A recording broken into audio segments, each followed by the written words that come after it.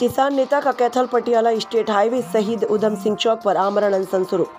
युवा किसान नेता ने अपने किसान साथियों पर प्रशासन के साथ मिलीभगत कर करोड़ों रुपए की भूमि कब्जाने का लगाया आरोप। कैथल पटियाला स्टेट हाईवे पर किसानों द्वारा करोड़ों की ज़मीन पर कब्जा करने के आरोप। एसडीएम और मार्केट कमेटी सचिव पर लगाया भ्रष्टाचार का आरोप। कैथल पटियाला स्टेट हाईवे पर किसानों द्वारा मार्केट कमेटी की भूमि पर किया गया कब्जा।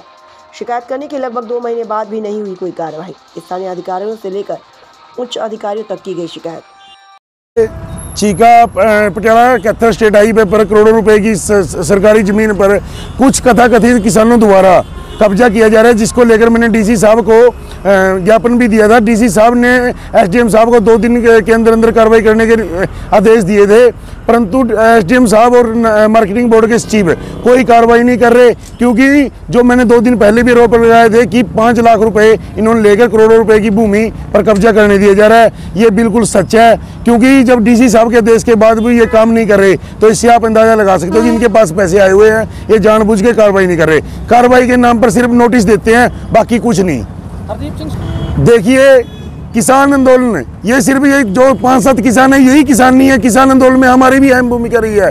जिसके चलते हम किसान कौम को बदनाम नहीं होने देंगे कि ये चार पाँच लोग किसानों के नाम पर जो प्रॉपर्टी डीलर हैं ये अपने प्लाट काट कर बेचेंगे और हम कब्जा नहीं होने देंगे क्योंकि किसान कौम इन करके बदनाम नहीं होना चाहती।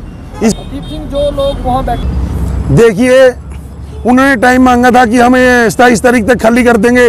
देखिए, सताईस भी गई, उनतीस अठाईस उनतीस, तीस, इकतीस, आज इकतीस तक का फिर उन्होंने टाइम मांगा था कि हम खाली कर देंगे। परंतु आज एक फरवरी है, आज भी खाली नहीं हुआ, जैसे कब्जा, जैसे कि त्यों है, दो चार पिलर ही उतारे हैं, बाकी सारा का सारा कब्जा ऐसे ही, अगर उन्होंने किसान भवन बनाना है तो सरकार से मांग करे। अगर ऐसे ही कब्जा करना होता तो हम सिग्गू बॉर्डर, टिकरी बॉर्डर से करोड़ों रुपए की ज़मीन छोड़ कर आए हैं तो ये बत्तीस जितने 500 संगठन थे वो भी कब्जा कर लेते।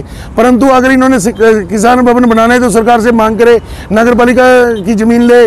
हमारे विधायक ईश्वर सिंह ने उनको स्पष्ट कहा है कि आप लोग यहाँ कब्जा छोड़कर मैं आपको भूमि अलॉट करा देता हूँ। आप किसान भवन बनवाएँ, मैं पाँच करोड़ रुपए देता हूँ। परंतु उनकी मनसा कब्जा करने की है।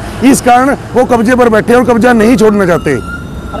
देखिए जो संयुक्त किसान मोर्चा था, वो इस करके खिलाफ है, क्योंकि संयुक्त किसान मोर्चा का देश था कि किसी भी संगठन ने अगर राजनीति करनी है तो वहाँ इस्तीफा देकर अपनी राजनीति करे। वहाँ तो इस कारण आपको फूट नज़र आ रही है। और यहाँ ये जो कब्जेदारी हैं, पाँच चार प्रॉपर्टी डीलर हैं, ये कब्जा कर रहे हैं, और हम उसके विरुद्ध हैं कि हम सरकारी भूमि पर कब्जा नहीं करना चाहते, किसान को हम कब्जा नहीं करेगी। अगर हम किसान भवन बनाएँगे तो ज़मीन सरकार का जो करेक्टर रेट है, वो भरकर कहीं भी सरकार हमें लौट कराएगी तो हम किसान भवन वहाँ बनाने का काम करेंगे। अगर आपकी मांग तक ये भूमि खाली नहीं होती तब तक हमारा आमरण अनशन चालू रहेगा जी।